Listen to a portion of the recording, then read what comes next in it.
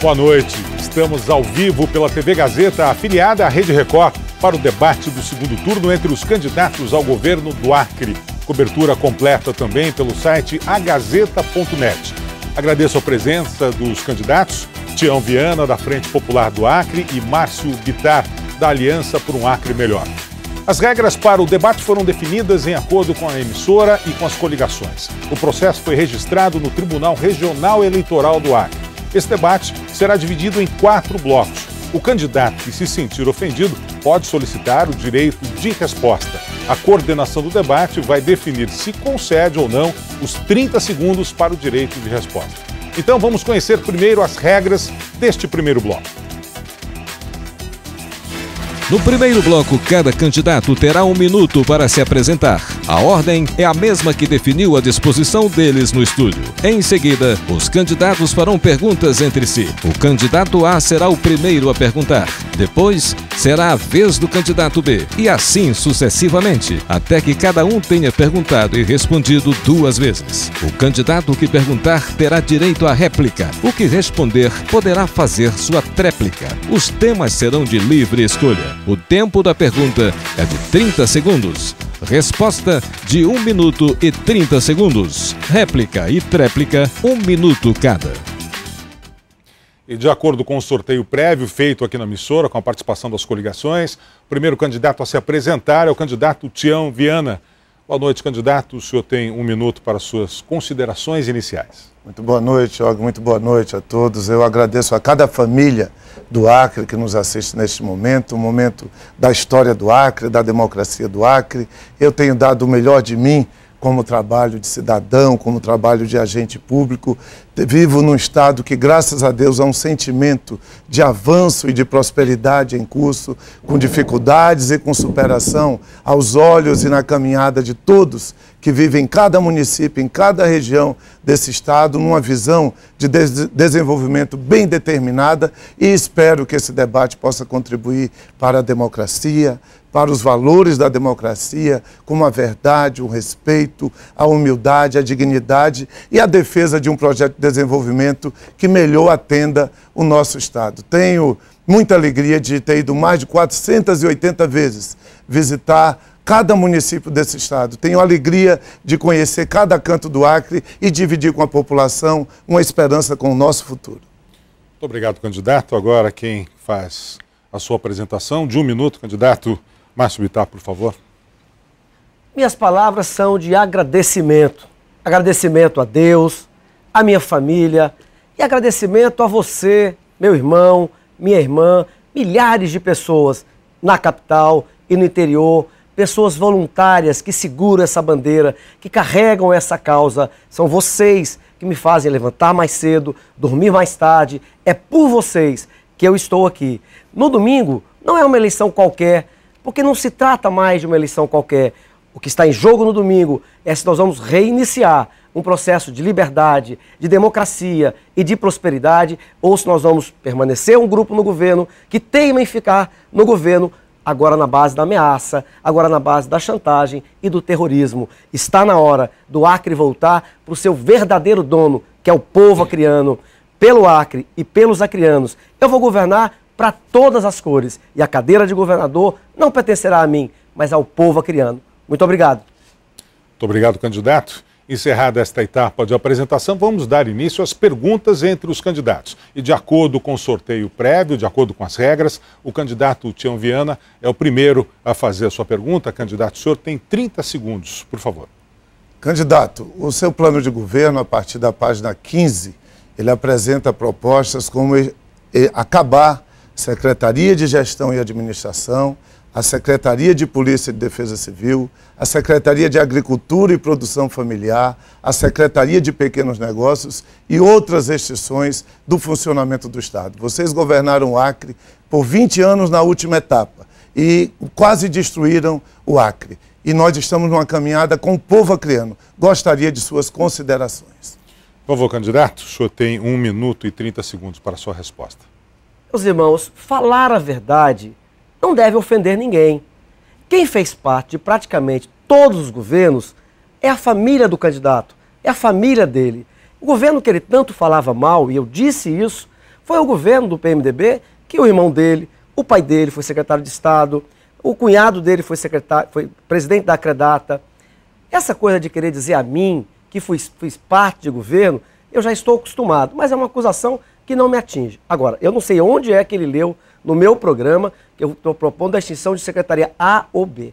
O que está no meu programa, eu quero reafirmar com você, é que nós vamos diminuir o custo do governo. Não é possível que o Acre tenha 67 órgãos públicos, tenha mais, quase 2 mil cargos de confiança, consumindo mais de 100 milhões por ano no orçamento do Estado. Você pega o caso da segurança pública, por exemplo. Não há dinheiro carimbado para a segurança pública.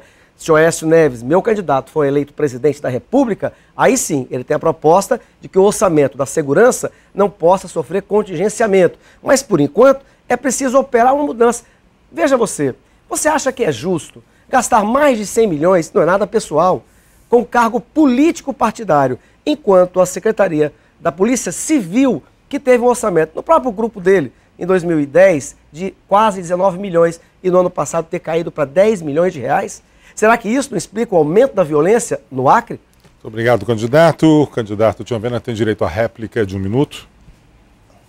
É uma pena, mas o candidato parece que não leu o que escreveu no plano de governo, que ele propõe a partir da página 15, espero que ele mostre ao povo do Acre, porque o meu plano foi constituído em muitas mãos, com milhares de pessoas, que ele defende o fim dessas secretarias. E me causa surpresa, me causa muita preocupação, porque a Secretaria de Gestão e Administração trabalha com 42 mil famílias. As pessoas têm seus problemas pessoais a tratar com seus gestores, com seus governantes. Tem as questões de carreira, tem a valorização, tem a progressão, tem a promoção. A Secretaria de Agricultura e Pequeno é, e, e Produção Familiar fez milhares de tanques de piscicultura, criação de animais, plantio, entrega de mecanização, de índios a todos os agricultores. As pessoas não podem perder pequenos negócios. Entregamos 14 mil famílias receberam da Secretaria de Pequenos Negócios benefícios Candidato, eu fico até com medo que você queira eliminar antecipadamente aquilo que eu estou lutando e que não vai acontecer, que é, a de,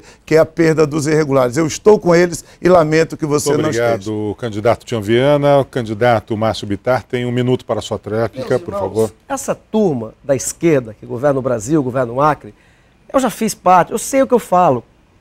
Eles inventam, eles mentem descaradamente e colocam nos outros aquilo que eles próprios fazem. Isso é uma tática velha da esquerda. Meus irmãos, o que eu não posso tolerar, analise comigo, o que eu não posso tolerar é que políticos que estão condenados, que não puderam ser candidatos, ganhem 20 mil reais, 18 mil reais, 24 mil reais, que, a propaganda do governo ultrapasse 14 milhões de reais, enquanto a segurança pública do Estado está entregue às moscas. Nós não temos hoje viatura suficiente. Os agentes penitenciários não têm sequer fardamento. Faltam munições, falta abrir concurso público para melhorar e para poder aumentar o contingente, para colocar a polícia na rua, para defender e trazer de volta a família criana, aos lares criança, a paz que nesse governo foi perdida. Muito obrigado, candidato Márcio. Gostaria só de alertar os candidatos que qualquer direito eh, de resposta que seja pedido durante o programa deve ser feito no intervalo do programa e será analisado pelas nossas comissões. Agora, de acordo com as regras do debate, de acordo com o sorteio efetuado, o candidato Márcio Bitara, quem faz a pergunta. Candidato, o senhor tem 30 segundos. Pois não. Candidato Sebastião Viana, o Ministério Público Federal agora está processando acatando uh, o trabalho que a Polícia Federal fez, é, um sobrinho seu é, e mais um empresário. Eu pergunto, mesmo agora que o Ministério Público Federal entendeu como, é, com base nas, no que a Polícia Federal fez, mesmo agora, você acha, candidato, que o trabalho da Polícia Federal, você vai continuar afirmando que o trabalho da Polícia Federal foi apenas um complô contra o seu governo? Candidato Tiambena, o senhor tem um minuto e 30 segundos para a sua resposta. Eu até agradeço pela consideração da pergunta, porque ela me permite é, falar a verdade. Nós estamos há 42 meses aguardando um procedimento de denúncia sobre esse tema que ocorreu e que todo o Acre ficou sabendo.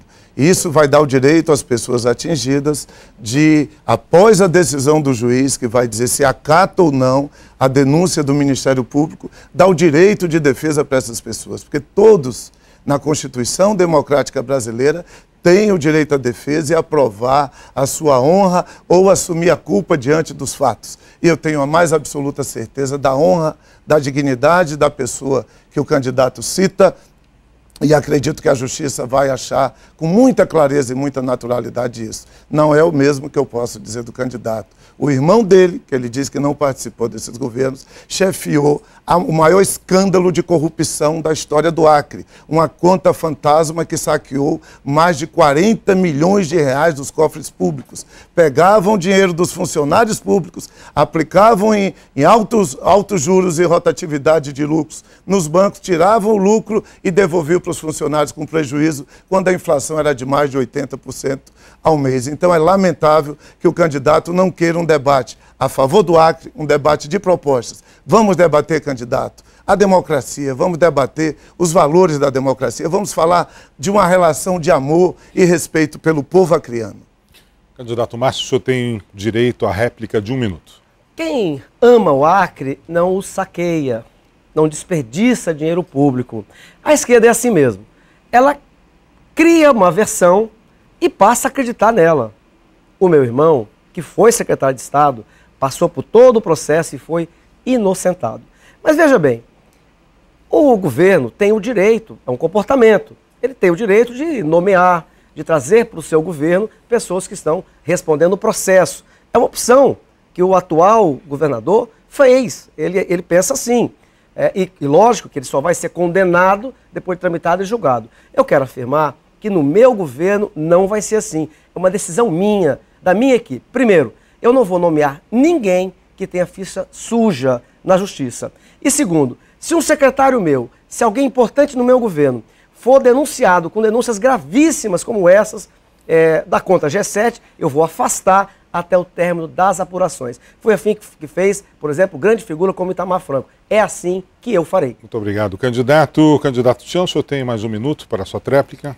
Eu, eu acho muito importante que nós possamos partir por um debate de ideias, de propostas pelo Acre, é o que o povo acriano está esperando de nós e eu lamento que o candidato insista nisso. Ele está cercado de apoiadores, fichas sujas na sua campanha, alguns eleitos e pessoas que deveriam prestar contas aos órgãos policiais e de segurança pública. Tem grandes apoiadores do, do candidato, tem um que está envolvido em processo de estupro, de sequestro, de cárcere privado, de homicídio também. E eu espero que ele possa explicar isso no devido tempo à sociedade acreana. Mas eu prefiro falar do Acre, eu preciso falar, prefiro falar da democracia do Acre eu prefiro falar da política de desenvolvimento, de emprego, de renda, de saúde, de educação, de servidores públicos. Nós temos aí mais de 3 mil servidores que estão ameaçados de perder o emprego. Eu já me abracei com eles e quero que eles tenham estabilidade. Vou levá-los até o dia da aposentadoria com dignidade, o que o candidato não faz. Muito obrigado, candidato Tian Viana. De acordo com as regras do debate, agora o senhor tem direito a uma nova pergunta. 30 segundos, por favor. Candidato, lendo o seu plano de governo, eu não vi nenhum compromisso seu com política de habitação popular para as pessoas vítimas das enchentes. Eu lhe pergunto, quando nós tivemos a maior tragédia de enchente do Acre, quando 18 bairros estavam, bairros estavam embaixo d'água, quando nós estávamos nos desvelando, dedicando tudo de nós, o prefeito Marcos Alexandre, milhares de voluntários, onde o senhor estava naquela hora, que nem no seu plano de governo agora o senhor coloca nenhum compromisso de habitação para aquelas famílias, candidato? Candidato Márcio Viana, o senhor tem 1 minuto e 30 para responder. Márcio Bitar. Desculpa, Márcio Bitar. Quem mudou Perdão. o nome não fui eu. Perdão. Com todo respeito. Candidato é. Márcio Bitar, por favor, 1 minuto e 30 segundos para a sua resposta. Bem, eu pensei que era só a minha mulher que gostaria de saber onde é que eu andava. É, mas não há problema. Veja bem, é, eu já fui vítima de um acidente quase fatal em Sena Madureira na época de uma alagação. E nem por, e nem por isso saí perguntando onde é que estava o Sebastião Viana mas veja, vocês já prometeram tantas casas é, nesse atual governo, no programa de governo que vocês prometeram, que eu me contento em realizar as promessas que vocês fizeram e não realizaram. Por exemplo, aqui em Rio Branco, lá na Casa do Povo, na, na, na, na Cidade do Povo, prometeu-se 10 mil casas, 10.500 casas. Vai terminar o teu governo, não vai ser entregue nem mil casas. Eu vou concluir as 10 mil casas que você não acabou, vou fazer com qualidade, com transparência, qualidade que não tem hoje na sua obra, porque quando bate um vento, quando bate a chuva, está filmado, está gravado, é, as telhas se arrancam, a água entra dentro, dentro dela. E vou fazer o que eu já disse no interior do estado, outras 10 mil habitações para o interior do estado, porque eu acho que não é só a capital que precisa de casas. Cruzeiro do Sul também precisa, Sena Madureira, Brasileia, Chapuri, enfim, o Acre inteiro, porque no Acre inteiro, também no interior, tem área de risco, tem alagação. Acabei de dizer do meu município, Sena Madureira. Eu caí de avião, onde um piloto morreu, numa das maiores alagações de Sena Madureira. Então vou concluir o que você começou e fazer 10 mil no interior do estado, para ser justo. Muito obrigado, candidato Márcio Bitar. Agora é a vez do candidato Tião Viana. A réplica de um minuto, por favor, candidato. É uma pena, é uma pena que o candidato parece que aparece no Acre de quatro em quatro anos, porque nas alagações o povo do Acre não o viu. E eu lamento que ele não entenda e não veja, não ande em, em Rio Branco e no interior do estado e não veja as casas que estão feitas. Já entregamos 8 mil casas nesse estado, neste meu governo, o que a oposição nunca entregou nem a metade, candidato. E o que vocês entregaram de padrão de casa, está aí o Manel Julião que o diga. E aqueles moradores não têm culpa. Eu até queria que a justiça me desse o direito de ajudar a, a dar qualidade naquela obra que foi feita quando vocês governavam. Deixaram aquelas pessoas no sofrimento, sem qualidade de vida, sem condição de uma habitação mais digna. Não é assim que se procede, candidato. Até dezembro eu estarei tendo entre... terei entregue 9.800 casas no Acre. É mais do que qualquer governo somado em toda a história. E se Deus quiser, na outra etapa, 11 mil casas populares, só nos municípios, 4 mil casas, dentre elas, mil casas para Cruzeiro do Sul. Candidato Márcio tem um minuto para a sua tréplica. Meu irmão e minha irmã, eu vou repetir. É, eu vou concluir o que ele prometeu e não cumpriu. Ele prometeu mais de 10 mil casas na cidade do povo e não está entregando. E o pior, a parte que entregou não tem a qualidade que o povo acriano merece. Eu vou concluir o que ele prometeu e não, e não fez, mas vou fazer com transparência e com qualidade na obra. E vou fazer as mesmas 10 mil casas também no interior do estado porque o interior do estado, como eu já disse, também precisa.